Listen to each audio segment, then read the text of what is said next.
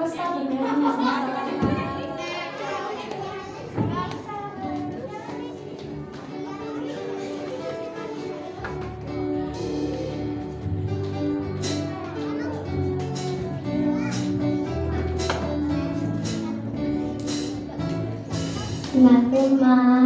yang ajar tercinta kanannya yang dan Langit dan bumi. Thank you.